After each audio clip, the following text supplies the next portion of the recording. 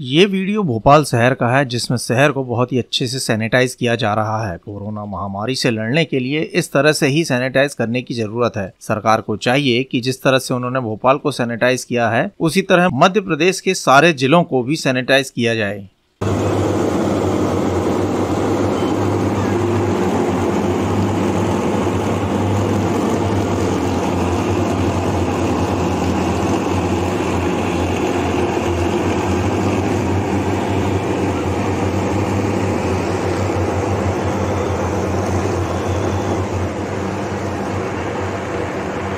आप देख रहे हैं जनता के लिए जनता की आवाज़, जनता समाचार।